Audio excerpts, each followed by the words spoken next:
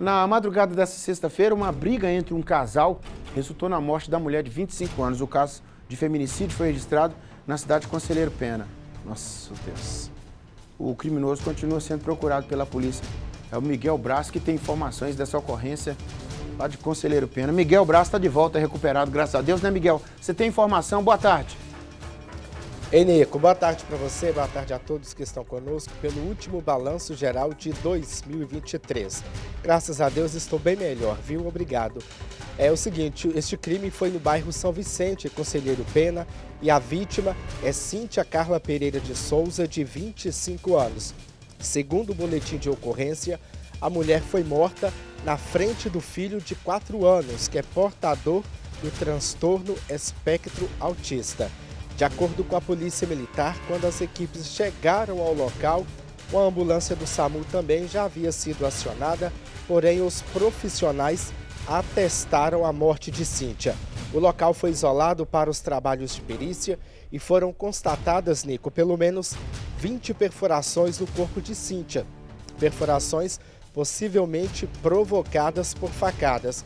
Outro detalhe que está no boletim de ocorrência é que o homem utilizou um martelo para golpear várias vezes o rosto da vítima. Portanto, após o crime, ele fugiu de bicicleta. Vamos a outros detalhes desta ocorrência com o sargento da Polícia Militar, Rodrigo Oliveira. Os militares deslocaram até o local e encontraram a vítima, já sem sinais vitais, caída ao solo. Em conversa com as testemunhas e os transeuntes, os militares é, tomaram conhecimento que o autor seria o esposo da vítima, que no momento é, havia evadido sentido a resplendor. Os militares iniciaram as diligências e depararam com o autor já no distrito de Krenak, momento em que o autor, ao ver a viatura, embrenhou-se ao mato. Os militares seguem em rastreamento ao autor para que a justiça seja feita. Bem, Nico, ainda de acordo com o boletim de ocorrência, testemunhas contaram que o casal se desentendia constantemente e antes de a mulher ser morta, a situação não foi diferente.